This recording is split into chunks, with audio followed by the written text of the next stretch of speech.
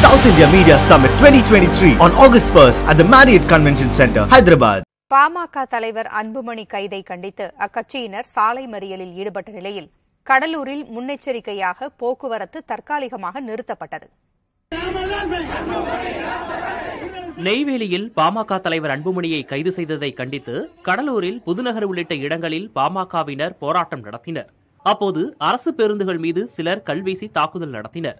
இதேபோல் சேலம் திண்டிவனம் உளுந்தூர்பேட்டை உள்ளிட்ட பல்வேறு இடங்களில் பாமகவினர் சாலை மறியலில் ஈடுபட்டனர். பேருந்து மீது கல்வீசி தாக்குதலில் ஈடுபட்டவர்கள் கைது செய்யப்பட்டதாக விழுப்புரம் சரக டிஐஜி தெரிவித்தார். நெய்வேலியில் காவல்துறையினர் மற்றும் வாகனங்களை கல்வீசி தாக்கியவர்கள் மீது வழக்கு பதிவு செய்து நடவடிக்கை எடுக்கப்படும் என காவல்துறை தெரிவித்துள்ளது.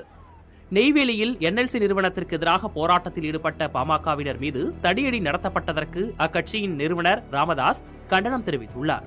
மண்ணை காக்க அறவழியில் நடத்திய போராட்டத்தை அடக்குமுறை மூலம் ஒடுக்க முயன்றால் அரசுக்கும் காவல்துறைக்கும் தோல்வியே கிடைக்கும் எனவும் அவர் கூறியுள்ளார் South India Media Summit 2023 on August 1st at the Marriott Convention Center, Hyderabad.